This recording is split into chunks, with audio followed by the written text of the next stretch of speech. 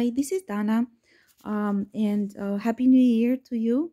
Um, I hope you have a wonderful uh, year to come. God guided me to talk uh, in the beginning of this year about um, the most important message at this point in time that God wants to um, convey um, regarding 2022. And that is essentially um, the message is about flexibility, the importance of flexibility and the strategic approach uh, in your spiritual fighting. We are now um, already uh, past um, uh, the karmic um, uh, board meeting uh, in December uh, when a situational karmic cycle ended. this is a very important timing in um, spiritual fighting um, and in ascension.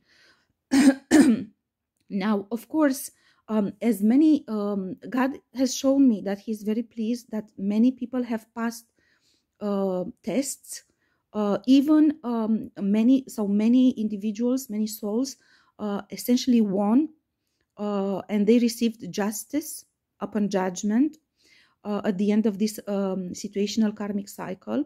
But also god wanted me uh, to, to convey the fact that also some of the people who didn't necessarily um, succeeded to end uh, the karmic cycle uh, so didn't fully win um, because they uh, woke up to the fight uh, rather late so they didn't have enough time uh, to carry on all the battles.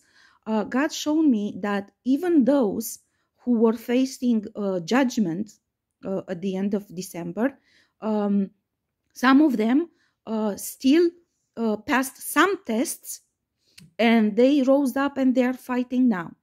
So although they opened the new, they entered the new uh, karmic cycle now, um, they are still victorious because they enter into this karmic cycle fighting. Okay, uh, so that is um, that is uh, still a success in God's uh, perception. Um, and of course, that's they have many opportunities. I'm sure I've seen God at work and I know He does soul work with the individual who really want and are determined to do redemption. So I'm sure they will uh, benefit of God's help. Um, now, uh, what God wanted me to uh, say regarding this message is the following.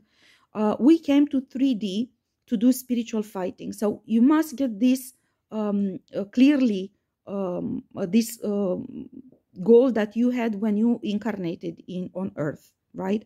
Uh, we came to take right uh, to take back right and uh, to heal.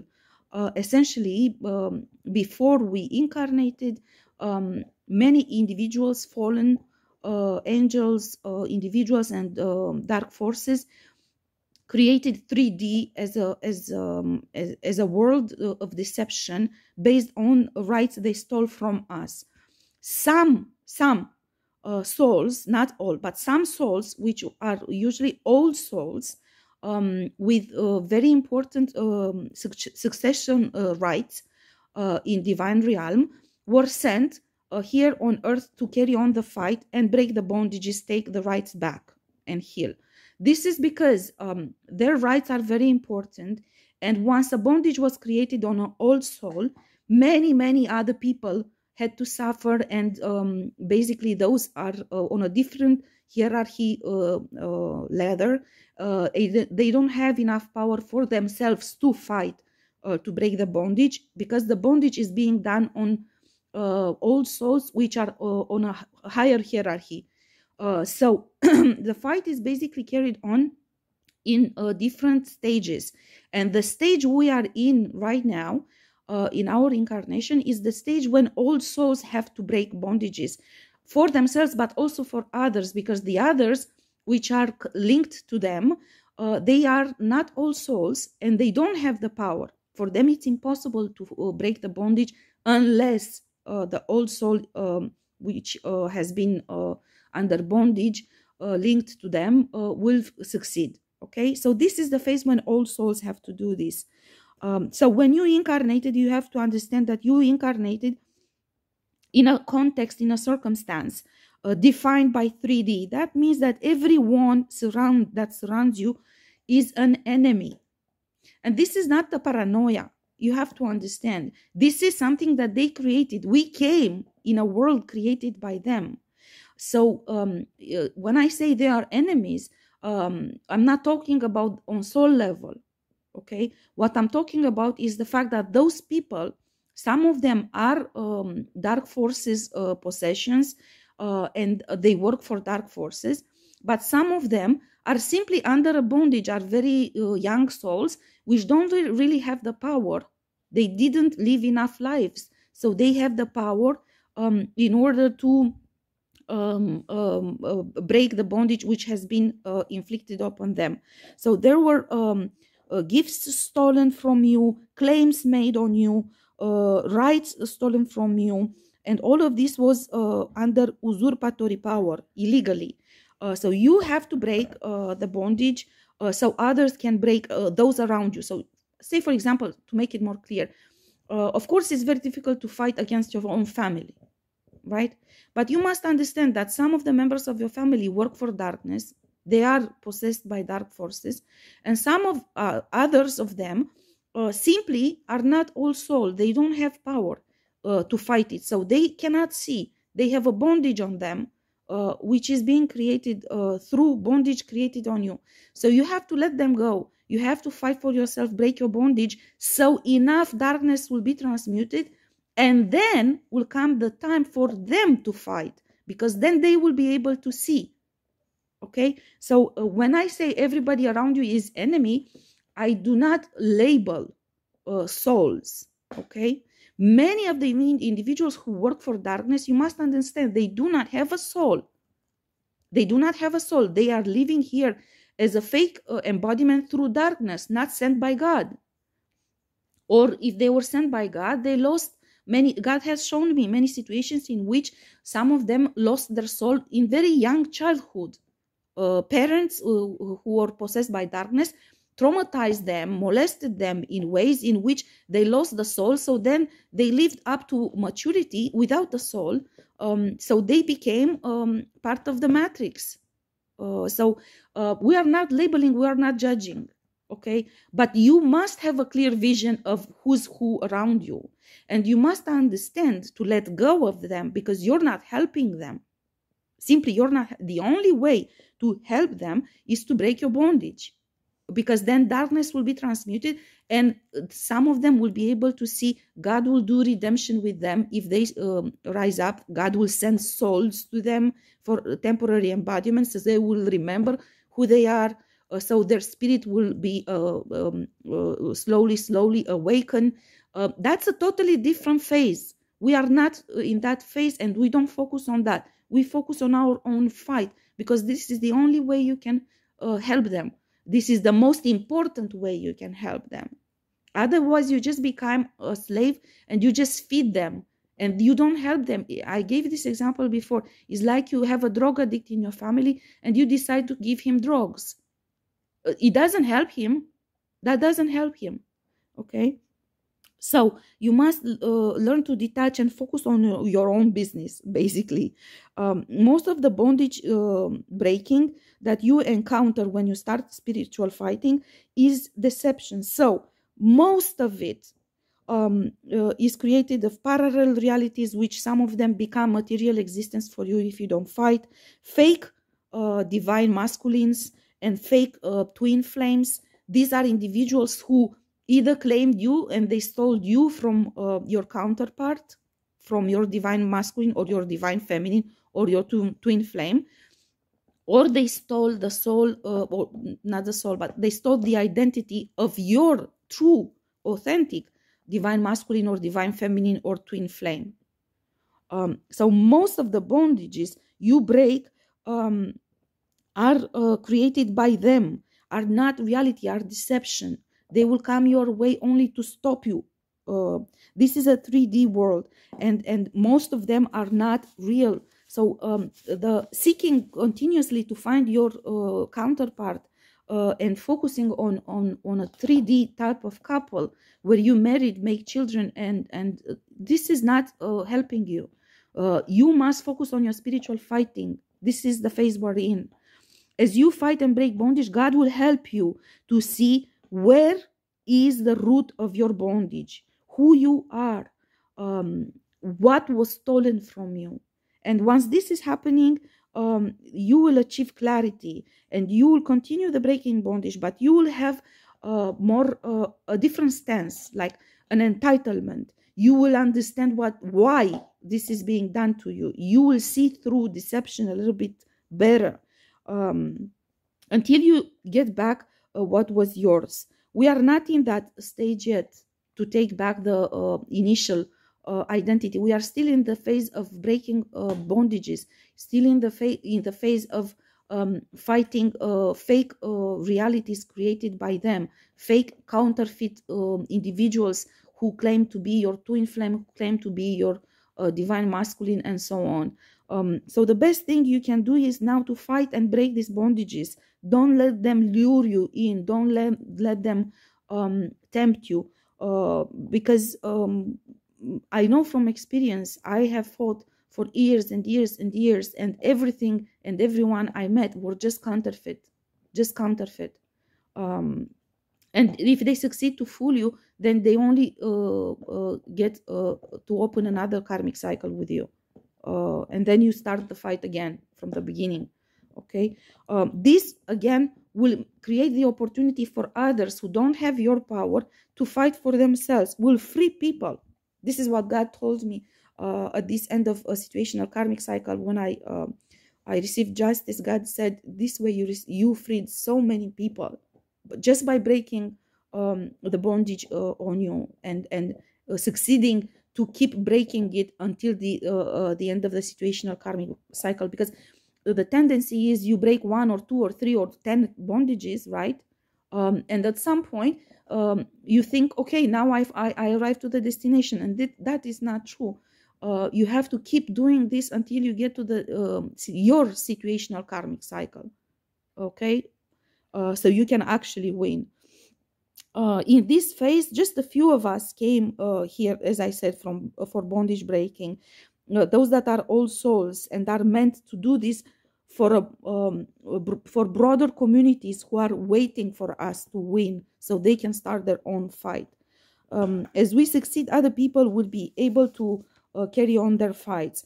So make sure you don't cling to people you don't cling to places you um, you help others more if you uh, walk on your path and break your bondage um, you and achieve the goals that uh, were divinely orchestrated for you when you uh, incarnated um, the concept of uh, healing others, for example, uh, is just a concept created uh, to block you. Of course, on your path, you're doing good for others, you're doing good deeds. But it's one thing to encounter individuals, help them, and then move on. And it's another thing to make this um, a, profession or a, a, label, an identity in itself. I, it's very wrong uh, the mindset when you say i'm a healer. No you're not a healer. You have your own purpose. Of course all of us are empaths uh, and and we have the ability to heal but you only are meant to heal individuals um, which come your way for certain purpose. They either come your way to transform that healing into uh, uh feeding on you or they come sent by god because the two of you have a bondage and by healing um, you you succeed to uh, to uh, see through that uh, deception. But don't cling to that. It's not your purpose to stay into this mindset where you um, devote yourself uh, your purpose and you find your purpose in healing others. This is not it. Nobody came here just to heal others. You must understand uh, in 5d each and every individual has uh, the same power of healing and of um, of spiritual fighting Nobody is serving others by healing.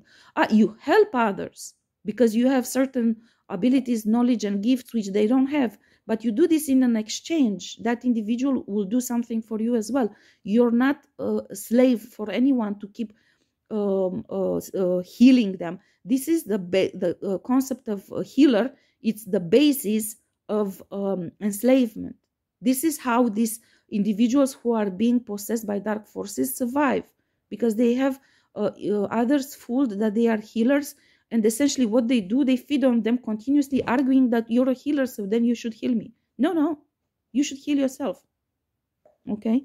Um self-sacrifice this is god uh, uh, used this word. This is self-sacrifice misguided. It's one thing to be of service but you are not of service to individuals.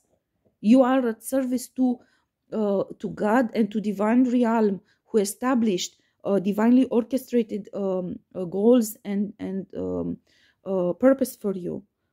So god specifically said me these words self-sacrifice misguided. Um, uh, when you uh, believe that your role is only to heal others around you. And this is the basis of enslavement. Um, you're not supposed to fight other people's battles. You're not supposed these toxic relations uh, are created by when you believe that you should rescue others. And uh, i want to say that i look on my facebook page. I'm not pointing fingers. I even had a project of rescuing others. I went myself through all of this. I said in the beginning of my videos, um, everything that I share, all the knowledge I share, comes from my own personal experience in my own spiritual fighting. Do not believe ever that I advise anyone to do something um, and I didn't go through um, uh, the temptation of being uh, um, in deception myself on that. Many of them I, I succeeded to overcome with God's help uh, uh, but some of them I went through them myself. Uh, so if you look on my page in 2018, 2019, something like this, you will see that I had a, a project named Rescuing Others. And um, God slowly, slowly uh, brought me back to the um, um, uh, right uh, approach to this and show me you help others. You do not rescue anyone. Nobody can be rescued. Of course, you help in many different ways, but this is not your goal. This is not your, this is part of who you are. You do this because um, you want others to be helped, but at no point in time you jeopardize your purpose, your path, and your goal um, to help others. You don't allow this to become toxic, to drag you down. Okay? Because uh, for for the simple reason that uh, in the battles there are lessons they must learn. They must learn to own their power. They must learn to own their gifts because you help them now, but then you leave because this is your path to leave. And they are not able to stand on their feet and they fall again. Unless they win through their own battle, um, they will not be able uh, to stand up on their own feet and uh, uh, to uh, continue to walk the path. Uh, so you do not rescue others, you do not fight battles for them. Um, you just simply uh, ask guidance from God every time when you want to help someone because many times it's a trap. Many times it's just a trap. Uh, so the overall message is that you, for 2022 you must be uh, be flexible. This is a dynamic process. God has shown me already by now. They already changed strategies because they lost a lot uh, during this uh, end of the situational karmic cycle judgment uh, and punishment on them so they already changed plans so we must be flexible and and uh, adapt god adapts and comes up with new strategies to counter their new plans always always. I have seen this in my spiritual journey and in my spiritual fighting. I had for example i'll give you an example. I had uh, different guidance. When i left uh, my um, property in romania in to, to 2019 um, my destination was Nepal. They blocked that for me. I tried for like six months to get to Nepal, uh, and it was impo- from Europe, and it was impossible. Uh, I went. God uh, redirected me. He said, uh, "Then you go to Latin America, uh, and you break different bondages, so you can um, transmute some of the darkness, so you can see more about your um, roots." and there, you, I went to Peru and God, uh, that, as I said in the previous um, video talking about relocation, God um, showed me. Actually, initially, I went to Chile where I broke the bondage on the archives of the scripts. I learned about that. I learned about scripts made by uh, on me.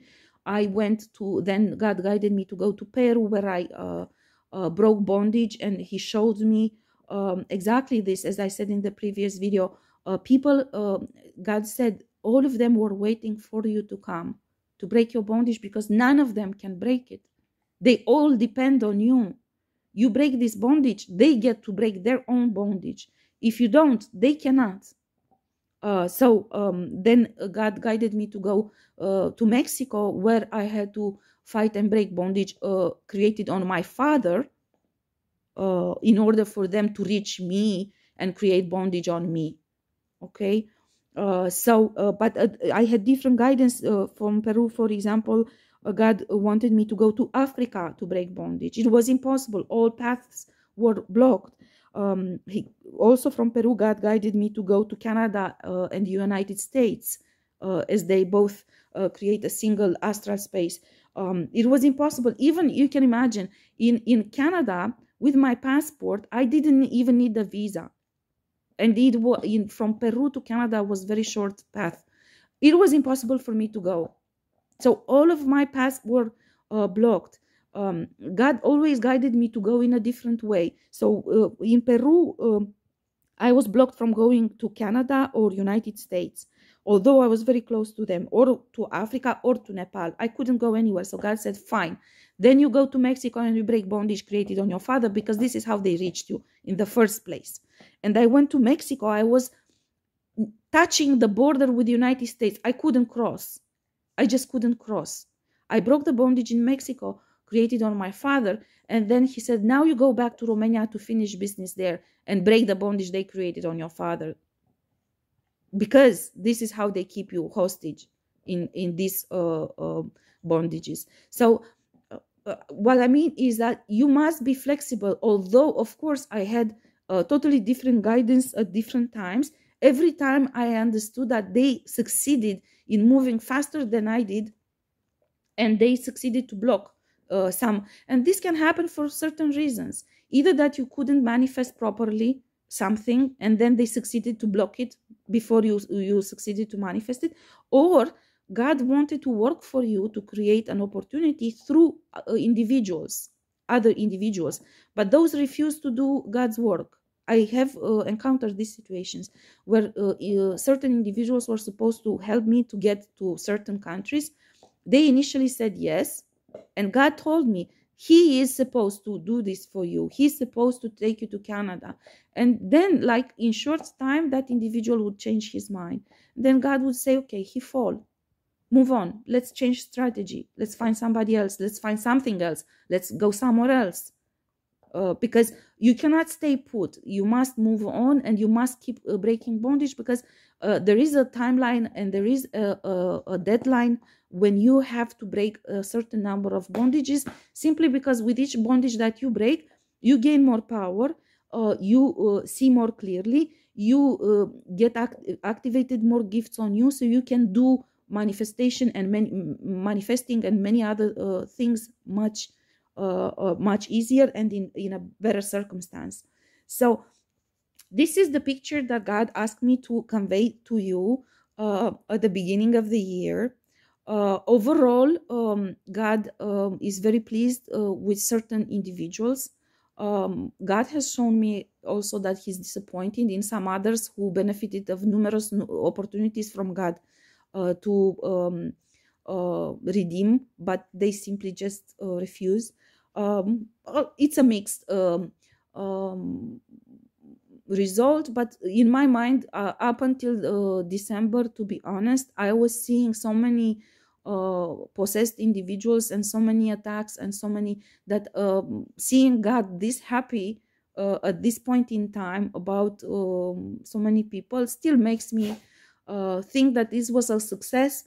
Uh, and of course we have to be very cautious because now that they lost and uh, we succeeded to this is my dog you guys i'm sorry he keeps popping into my uh, camera uh, and um, uh, as i said uh, this leads me to believe that uh, we succeeded but we must be cautious because they will always try um, to make us um, lose what we gained they they fight for taking back whatever we succeeded uh, and we are still not done fighting and, and winning.